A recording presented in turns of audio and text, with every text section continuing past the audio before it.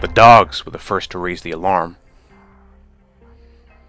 From out the window, we could see the hillside covered with American soldiers. Two men stepped from the ranks, selected some large chips, then came into the room without saying a word and took coals from the very hearth we'd heated our breakfast on. We knew what they were going to do. The dogs were the first to raise the alarm. From out the window, we could see the hillside covered with American soldiers. Two men stepped from the ranks, selected some large chips, then came into the room without saying a word, and took coals from the very hearth we'd heated our breakfast on.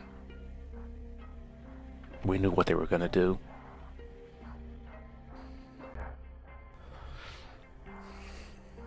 The dogs were the first to raise the alarm.